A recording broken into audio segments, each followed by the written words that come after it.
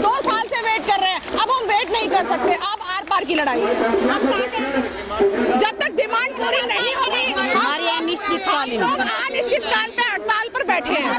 हम भी देखेंगे केजरीवाल जी कब तक नहीं सुनते हैं। आज वो एसी में बैठे हैं हम धूप में बैठे हैं पर उनके पास हमारे लिए दस मिनट का समय नहीं है। हम भी 2019 में उनका बहिष्कार तो कैसे करके दिखाएँगे।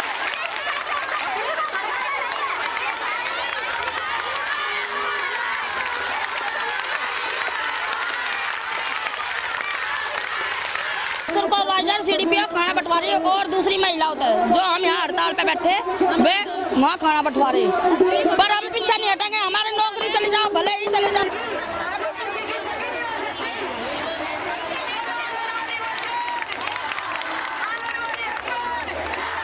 देखिए 2015 में आंगनबाड़ी की हड़ताल हुई थी, जिसके बाद दिल्ली के मुख्यमंत्री अरविंद केजरीवाल ने हम लोगों से एक लिखित समझौता किया था।